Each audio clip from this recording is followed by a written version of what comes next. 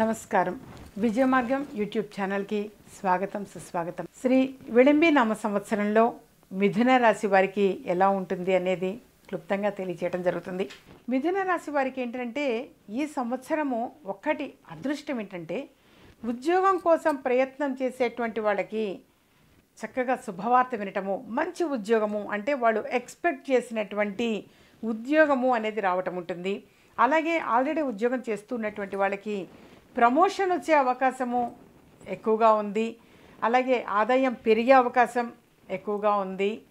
మరొకటి ఏంటంటే వివాహం కోసం ప్రయత్నం చేస్తున్నటువంటి వాళ్ళకి అంటే ఎవరైనా ఆడపిల్ల విషయం కావచ్చు అబ్బాయి విషయం కావచ్చు మిథున రాశిలో ఉన్నటువంటి వాళ్ళకి ఈ సంవత్సరము తప్పనిసరిగా వివాహం కుదిరే అవకాశం కూడా ఎక్కువగా ఉన్నది.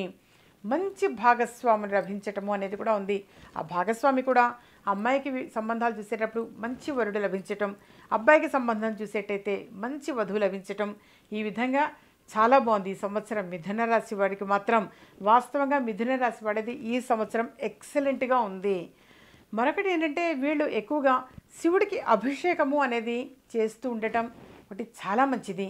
అలాగే శ్రీశైల క్షేత్ర దర్శనము అనేది కూడా ఈ సంవత్సరం చాలా బాగా కలిసి వస్తుంది. ఎప్పుడు కూడా శివుడికి అభిషేకం చేస్తూ ఉండటం. ఇలా శైవ క్షేత్రాలు శ్రీశైల క్షేత్ర దర్శనం లేదా రామేశ్వరం కానీ కాశీ కానీ ఈ విధంగా ద్వాదశ జ్యోతిర్లింగాలలో ఏదైనా సరే ఒక జ్యోతిర్లింగ దర్శనం కానీ ఈ విధంగా చేసుకుంటూ ఉండటం వలన ఇంకా కొంచెం పాజిటివ్ రిజల్ట్స్ అనేది వినే అవకాశం ఎక్కువగా ఉంది. ఈ సంవత్సరం శ్రీ విడంబినామ సంవత్సరంలో మిథున రాశి వారి జాతకం ఎక్సలెంట్గా ఉండటము అనేది జరిగింది. ఇలాంటి మరిన్ని ఇంట్రెస్టింగ్ వీడియోస్ చూడాలనుకుంటే మా ఛానల్ని సబ్స్క్రైబ్ చేసుకోండి. పక్కన కనిపిస్తున్న ఈ గంట సింబల్ని ప్రెస్ చేయండి.